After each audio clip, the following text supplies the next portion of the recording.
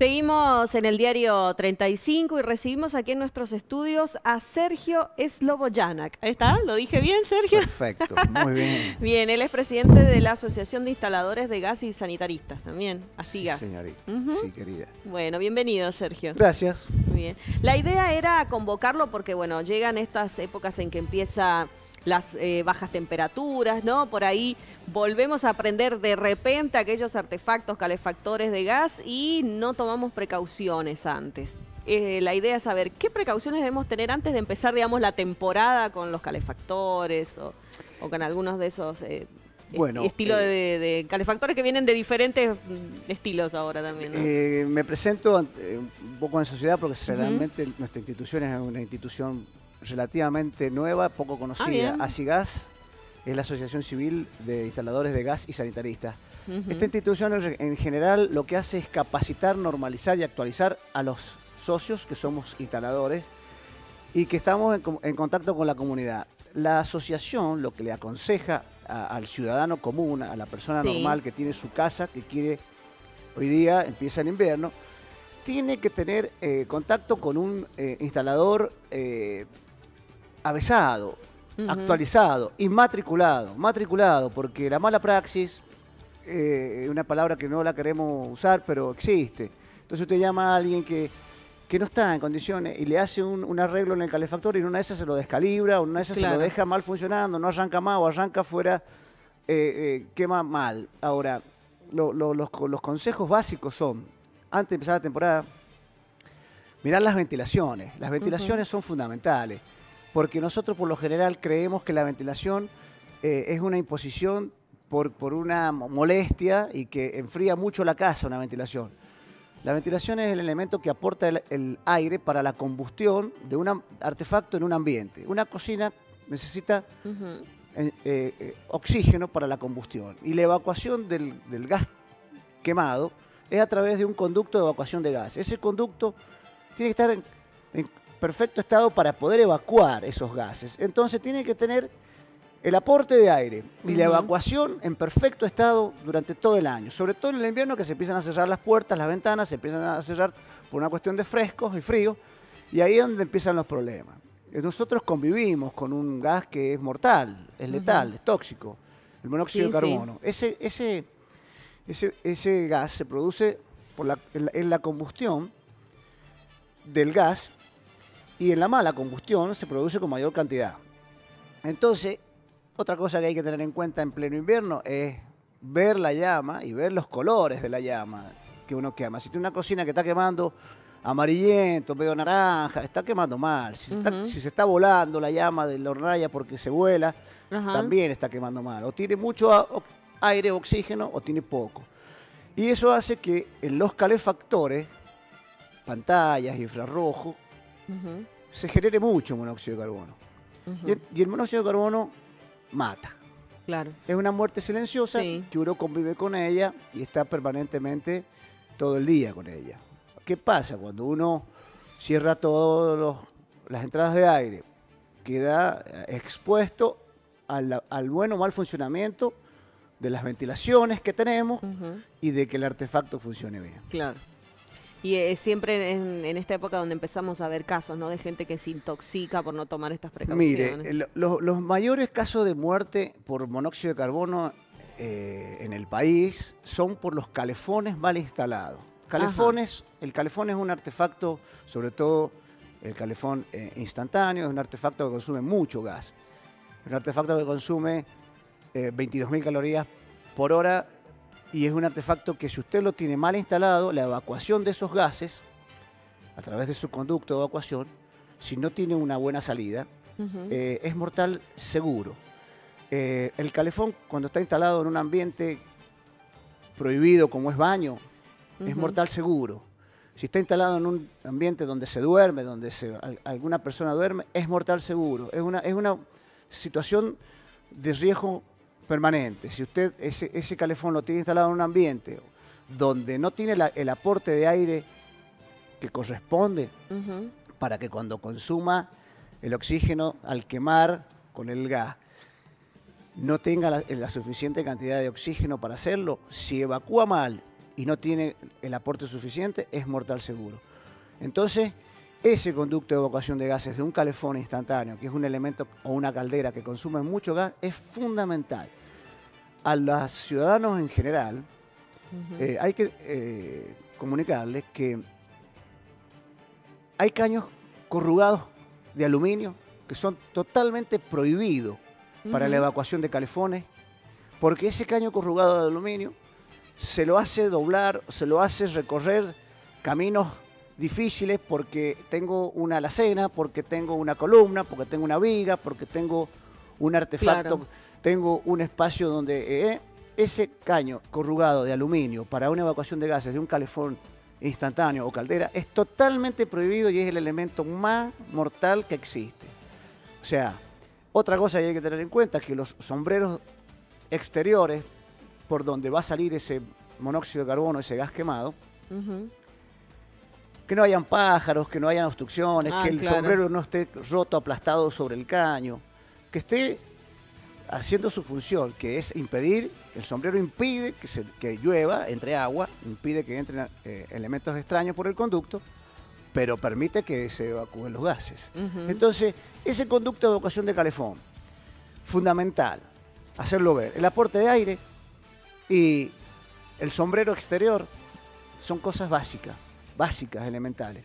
Yo creo que eh, hay que tener un poquito más de conciencia, llamar a un gasista matriculado, exigirle a un gasista que esté matriculado y que esté al día, porque también es cierto que tenemos a un amigo que alguna vez lo hizo y que lo hace, viene, te pone un calefactor en un lugar con un caño de un par de metros extendido de un ambiente a otro, o sea, te hace cosas que son totalmente prohibidas por reglamento y que son totalmente eh, peligrosas para la vida del ciudadano. Bien. ¿Y dónde podemos consultar si realmente una persona que nosotros llamamos, que dice tener la matrícula, la tiene, digamos, que está habilitado para eso? Porque también se presta por ahí para la, para la no, eh, en realidad, eh, el ente que nos, que nos regula a nosotros es Ecogas. Ecogas distribuye el gas en la provincia o en varias provincias, una, en zonas.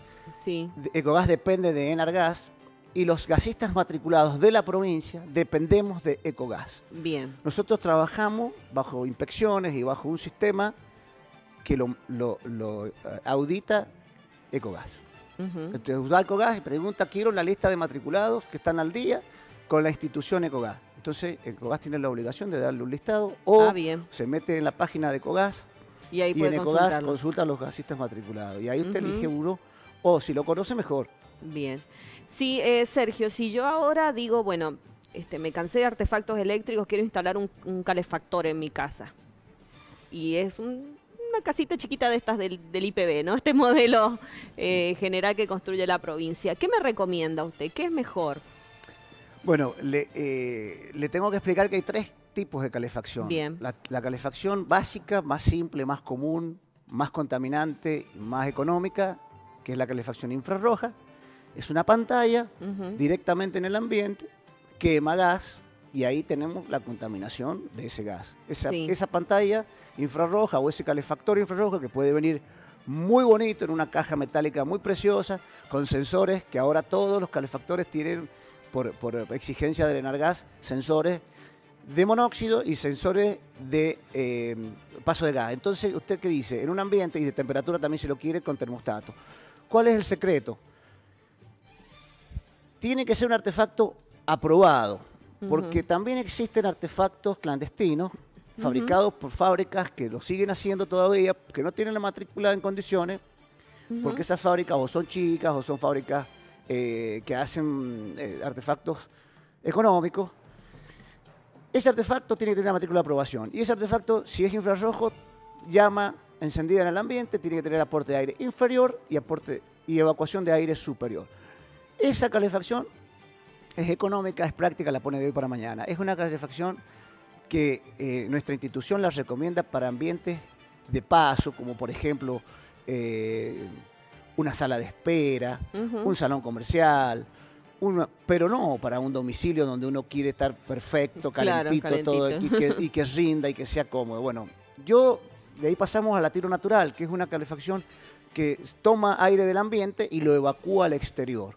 O sea, tiene un un aporte de aire inferior a través de una pared al exterior y una evacuación a través de un conducto que sale al exterior. Eso es tiro natural. Y después está lo que, lo que realmente yo recomendaría o que realmente es la mejor de las calefacciones, después de muchos análisis, de mucho estudiar, se llega a la conclusión que tiro balanceado es lo mejor. El tiro balanceado toma aire del exterior, calienta, deja el calor en el ambiente por convección y e, evacúa el gas al exterior. O sea, son dos conductos, uno que entra aire y otro que sale aire del exterior. Bien. Si ese calefactor tiro balanceado está en una pared que da al exterior, usted lo puede hacer salir directamente hacia atrás, toma y, tira atrás. Y si lo tiene en el techo, puede tomar del techo y tirar al techo. Esa es la situación más conveniente. Es la más cara tal vez en, el, costo inicial. Pero usted tiene en el ambiente todo el calor porque el conducto que evacúa los gases se calienta, como un escape de un auto, se calienta. Ese calor, si usted lo logra dejar en el ambiente, entonces tiene el 100% del calor por convección en el ambiente. Y eso es el rendimiento máximo que le puede obtener, sacar a un calefactor de combustión por gas, tanto natural o licuado. O sea, nos mantiene, mantiene el ambiente bien, eh, con buena calefacción. Sano, es, puro. más sano, Exactamente, puro. ¿Qué quiere decir puro? No, no, tiene en el ambiente contacto con el gas. O sea, ni, el, ni el gas que se quema, ni el gas, ni toma oxígeno del ambiente, y todo lo que contamina lo evacuamos al exterior. O sea, es la calefacción por gas perfecta, la, más adecuada. Es la que se, debe recomendar. Usted puede evacuar esos gases a través de un dormitorio. Con la buena construcción de un artefacto y la buena evacuación de gases, usted puede tener el calefactor en un dormitorio y evacuarlo por el otro dormitorio sin ningún problema porque del otro dormitorio le va a dejar nada más que el calor. Para eso tiene los conductos perfectos. Ahora, eso lo tiene que hacer una persona claro, muy, muy, profesional y lo mejor sería que sea inspeccionado por ECOGAS. Bien. ¿Por qué? Porque la inspección de ECOGAS, si bien es, un tema muy delicado y complicado, eh, es lo, lo que garantiza que su trabajo está bien hecho o está de hecho bajo las reglamentaciones vigentes, bajo la norma vigente. Y la norma vigente tiene muchas cosas que hacen que nosotros trabajemos bien. O sea, exige que el artefacto sea adecuado, exige que la, evacuación de los gases sea adecuada, que los, que los conductos estén pegados, que estén eh, adheridos. Existe que, exige que la conexión del artefacto a la, a, la, cañería sea a través de un flexible autorizado. O sea que no hay errores, porque la inspección se encarga de marcar los errores. Si no hay errores, está aprobado, el artefacto eh, probablemente no tenga problema, tal vez por muchos años. Bien, supóngase que yo lo, hago un esfuerzo, lo compro, lo saco en cuotas de alguna forma, me contacto con, con alguno de los profesionales matriculados, lo instalo, y después, ¿cuánto me demora Ecogas en ir a hacer esa inspección para que yo me quede tranquila y lo use? Mire, em, estamos muy desacostumbrados en la provincia a, pedir inspecciones de los trabajos de gas. O sea, la mayoría de la gente, la mayoría del usuario de gas, modifica su instalación de gas y no pide una inspección.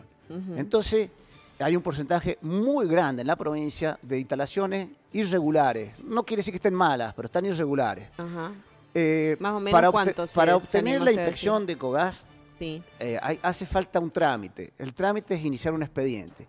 Para e, ese expediente puede ser que usted lo tenga producto de que su instalación de gas la tiene de alguna en los últimos años usted hizo una conexión, por ejemplo, una casa nueva que tiene cinco años, esa casa tiene expediente. Diez años tiene expediente. Usted busca el expediente y lo continúa el expediente. esa continuación de expediente hoy día se hace a través de un matriculado y teóricamente Ecogas tiene unos tiempos para cumplir. Tiene tiempos para cumplir. Entonces usted presenta un expediente nuevo y en el lapso de un tiempo le acepta el expediente le revisa el expediente, se lo aprueba, se lo carga. Ahora, ¿por qué se lo carga? Porque Ecogas tiene un sistema nuevo eh, de, web por el cual nos manejamos. Entonces, usted a través de su correo recibe la información de que su expediente ha sido cargado. A, través de su correo recibe la información de que, de que la inspección está pedida y a, través de su correo le dicen va a ir tal día la inspección. Esas son cosas nuevas que están ocurriendo en los últimos meses. Es relativamente ágil es relativamente ágil. En un par de semana usted tiene el expediente cargado y tiene la, inspección eh, aprobada. A una vez que está el expediente cargado y la inspección está cargada en el, en el, en el sistema, Ecogas tiene 72 horas para hacer la inspección. Bien. Eh, usted recién dijo que había mm, un gran porcentaje de instalaciones que tenían irregularidades. ¿Se anima más o menos a decirnos qué porcentaje sería? Mire, eh, es grande el porcentaje. Eh, no tenemos a ciencia cierta un número exacto porque nosotros lo hacemos a través del, testeo y sondeo de nuestros, de nuestros asociados y de las instituciones con las cuales conversamos. Y es, difícil y es muy duro decir el número, pero la mayoría quiere decir más del 50%. Más del 50% de las instalaciones de la provincia de San Juan tienen alguna situación de irregularidad, o no tienen rejillas de ventilación apropiadas, o no tienen los artefactos en condiciones, o no tienen las cañerías eh, en, sus condiciones, o tienen pérdidas, o tienen eh, situaciones para reparar. No quiere decir cortarles el gas y, no darles más gas, no, quiere decir reparar. Entonces todos los propietarios de la provincia de San Juan y, del país en general, el país, es un problema del país, no un problema solamente de San Juan. Claro. Tienen que tomar conciencia de que, de, que la casa o la vivienda es propiedad nuestra, no es del Estado, ni propiedad de, de Cogá, ni propiedad de Nargá, es propiedad de, mi propiedad, es mía, de la línea de edificación para adentro lo que es la instalación eléctrica, la cloaca, el agua, el gas, el teléfono, el cable, mm, todo lo que hay dentro de mi casa es mi responsabilidad. La responsabilidad de COGA es de darle el gas en condiciones hasta la puerta de su domicilio y exigirle que usted tenga su casa reglamentaria.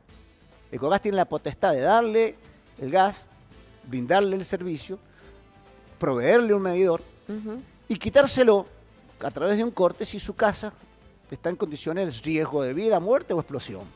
Vida, muerte o explosión. Si Ecogas ve que usted tiene en su casa un problema eh, grave, en la obligación de retirarle el medidor. a, través de, bueno, eso es una situación reglamentaria, una situación de toda la vida. Lo que pasa es que hemos estado muy relajados los últimos años, muy relajados, ¿qué quiere decir? Daba lo mismo eh, hacerlo de una manera que de otra. Y así hemos avanzado durante muchos años en un camino que hoy día hay que volverlo a caminar, o sea, volver atrás y arreglar nuestras instalaciones en general. En general hemos cometido errores, me debo incluir, hemos cometido errores de, modificar nuestras instalaciones sin tener los recaudos necesarios, reglamentarios. Y hoy día, hoy día eh, se envejecen los materiales, se envejecen los artefactos, se envejecen las conexiones y bueno, y, cuando tiene una situación uno de, inspección, se da cuenta que tiene todo mal. Claro. Y cuando tiene todo mal, está todo peligroso, el toma. Y si hay pérdida, con más razón, le corta el servicio. Una situación, este, recuerdo parecida a lo que está contando en, el barrio San Martín hace, uno, hace un tiempo, ¿no? De, algunos edificios que no cumplían. En el barrio San Martín hay un complejo importante de, torres, torres donde años 77, 78, 80 se, se habilitaron con gas natural. esas torres tenían toda eh, gas envasado o licuado. Y cuando se convirtieron a gas natural, se hicieron eh, sin tener ciertas precauciones. Entonces era un tema eh, social, había que darle gas, son muchas viviendas, son 700 viviendas. Entonces se incurrió en varios, varios errores. Eh, en ese momento las inspecciones o las exigencias no eran totales y bueno, y ha pasado muchos años y no solamente que se han hecho cosas que no han sido reglamentarias o que no han sido a reglamento, han sido aceptadas por el sistema, aceptadas no quiere decir aprobadas, aceptadas por el sistema y hoy día están aceptadas por un sistema antiguo que se ha quedado en el tiempo y encima de que están aceptadas eh, viejas entonces hay problemas de óxido, de corrosión, problemas de pérdidas, problemas de mala praxis, problemas, hay muchos problemas. No solo, el barrio San Martín es un barrio delicado. Yo diría que es un barrio que tiene que ser resuelto en forma global. Eh, está estudiando, la, la, asociación a la cual yo presido está estudiando una solución para ese barrio, junto con Ecogás, Enargás, la red provincial. Es un, eh, es un tema. Un tema, eh, también hay una parte muy importante que es la ley de consorcio. El consorcio depende de una, de una reglamentación. Y ahí se han hecho cosas individuales, los propietarios han hecho sus reparaciones individualmente, algunos lo han hecho muy bien, otros lo han hecho como han podido y otros lo han hecho eh, eh, para hacer algo, y bueno, otros han tenido mala suerte, a lo mejor mala praxis. Y bueno, y esto se ha ido eh, llevando a cabo durante muchos años y bueno, hay que hacer una reparación, una revisión de esos edificios y hay varios edificios, varios barrios emblemáticos en San Juan. Con ese mismo problema. Sí, sí, con ese mismo problema. Eh, hay barrios que, están en situación de, reparación total.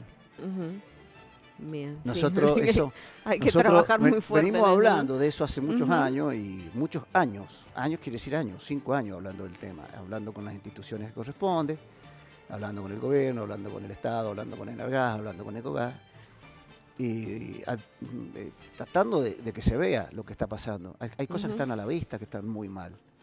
Pero bueno, eh, como yo le digo, el problema se genera en un, por ejemplo, no hablemos de, de, edificio San Martín, hablemos de una torre cualquiera que tiene 27 departamentos, son 27 propietarios que toman gas de un lugar que es único. Y de ese lugar único sale un gabinete de gas que es comunitario. En ese gabinete de gas hay 27 medidores de gas.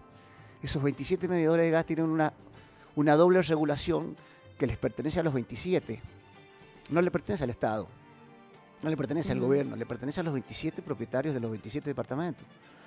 Entonces, ese, ese problema comunitario, si en esos 27 hay uno con problema, el problema es de los 27. Entonces, para resolver esa, esa situación comunitaria, que es el gabinete donde se regula y se, donde se regula y se mide el gas, tiene que haber un consenso de los 27 y un aporte económico de los 27. Mm, Entonces se produce, claro, ahí se produce el problema. De acuerdo, ¿no? Entonces de ahí, con esa solución de los 27, que se llama montantes barrales y cuadro de doble regulación, todo eso tiene una reglamentación muy, muy básica porque yo digo básica porque es simple, pero estricta. Y dentro de lo estricto, y se cometen muchos errores ahí mismo, en ese lugar, que es la, medición. Y lo más fácil es echarle la culpa al otro. Lo más fácil es decir la culpa la tiene Cogada, la culpa la tiene Nalgada, la culpa la tiene el gobierno, la culpa la tienen los otros. La culpa la tienen, la culpa la tienen los 27 dueños de los 27 departamentos de que no se ponen de acuerdo en los 27 en juntarse y decir este problema lo resolvemos. Cuando uno dice yo no quiero más gas, quiero electricidad, son 26. Y si dicen 5 que no quieren, son 21 para resolver un problema de 27. Entonces se produce un fenómeno que es complejo. Entonces cada uno hace lo que puede o lo que quiere y cada uno interviene en su problema personal y, hace... Por eso tiene que caer a una situación profesional un, un matriculado que lo sepa resolver, que lo sepa guiar, un ecogas que lo sepa auditar una provincia que sepa colaborar con préstamos como hoy día están, hace cinco años que venimos pidiendo préstamos y consiguiendo y tratando y hablar y haciendo trámites ante todas las instituciones que corresponden. Bueno, hoy día, gracias a Dios, tenemos una situación de préstamos para instalaciones de gas. Claro, en el CFI puede ser. Claro, el eh, CFI sacó una línea de créditos en la cual eh, dispone de, de X cantidad de millones de pesos 20 millones de pesos para instalaciones de energías alternativas, 20 millones de pesos para préstamos para gente que quiere instalar un calefón solar, que es una solución genial, ideal, y 20 millones de pesos para instalaciones de gas domiciliarias. Ah, en principio era para instalaciones nuevas y ahora estamos tratando de que sea para reparar. Nuevas o reparar instalaciones. Claro que puedan venir a solucionar todo este problema. Eso es un tema muy importante. Eso se ha trabajado mucho, se ha hablado el año pasado mucho con, el gobierno, con Ecogas, con Enargás, y se ha conseguido que, bueno, eh, se ha hecho un trámite muy importante. Eh, está, existe. Está, eh, es cuestión de ir a, pedir los requisitos, cómo hacerlo. No hago propaganda porque esto no es propaganda, pero tenés que estar. el único requisito complicado, a lo mejor, es estar bancarizado en el Banco San Juan es lo único, o bancarizarse. Y lo demás fluye, eh, funciona hasta 50 mil pesos, te prestan para que vos hagas tu reparación o tu instalación nueva. O sea, la herramienta está. Esa es una herramienta. Y ahora surge otra, sale otra a corto plazo, que se llama eh, Mejor Hogar, Gas. Ese es un préstamo que va a salir también con una tasa muy baja, con cuota fija y que se va a descontar vía boleta gas Y bueno, eso está por presentarse. Mañana se presenta, yo estoy dando una primicia, estamos invitados a, la, a la presentación de ese crédito que se está implementando ya en otras provincias y que está andando muy bien. Así que va a haber préstamos y va a haber plata y va a haber para reparar. O sea que ya no es una, una, mm, una respuesta, che, ¿qué tenés problema de gas? La culpa la tiene otro. No, la culpa no la tiene otro, la culpa la tiene el propietario. Hay una, reglamentación que es muy taxativa, que te cortan el gas si, si tenés pérdida, si tu, si tu instalación de gas es mala, peligrosa y posible explosión, posible muerte, te tienen que cortar el gas, te lo tienen que cortar al gas, porque Ecogas es responsable de eso. Entonces, y eso de que no llamemos a Ecogas porque si llamas a Ecogas te cortan el gas. Bueno, es como decir, yo estoy enfermo, no estoy enfermo, no quiero ir al hospital porque me voy a quedar internado. Si estoy enfermo, claro, algo tengo que hacer. Bueno, si no quiero ir al hospital, quedarme internado, no voy a llamar a la ambulancia porque me va a llevar. Bueno, estoy enfermo, necesito ir a un médico. Bueno, voy a un médico y hago un, un arreglo con el médico y decir, mira, estoy mal, me siento mal, arreglame, poneme, dame los medicamentos, me quedo en casa a, ver qué pasa. Bueno, eso se puede hacer con una instalación de gas. Llamar a un gasista matriculado y decir, está todo mal, pues empecemos a arreglar de a poco. Y no que no quiero llamar porque me van a cortar. Entonces, eh, es una cosa conciencia del propietario. Exacto. Ahora, la economía del hogar hoy día eh, está difícil, pero esto es básico y es fundamental. Exacto, y aparte está en riesgo la vida también de la gente. Es la vida, primero, el riesgo es la vida. Estamos, está en riesgo nuestra vida, sí, realmente. Pero también hay una cosa que se llama calidad de vida. Uno, si tiene las cosas para tener una calidad de vida buena, las tiene que tratar de usufructuar. Es decir, tengo un calefactor ¿Por qué no lo hago funcionar bien? Porque tengo que llamar a una persona que me lo regule. Tengo una cocina, tengo un calefón. ¿Por qué no llamo a alguien que me le pegue una acomodada porque está suelta, porque tiene una manguera prohibida, pues me la pongan bien, que me la acomoden, que me pongan una rejilla? ¿Por qué no hacerlo? Claro y nos sacamos muchos dolores de cabeza encima. Bien, Sergio, muy interesante la charla, le agradecemos la, participación aquí en Canal 35. Bueno, muchísimas gracias y bueno, eh, saben, existimos, estamos. Pregunten en Ecogas por su gasista preferido, elijan un gasista matriculado y hagan sus servicios service de su casa. Muy bien, vale el consejo entonces. Muchas gracias. Hacemos una pausa ahora en Canal 35 y enseguida continuamos con más noticias.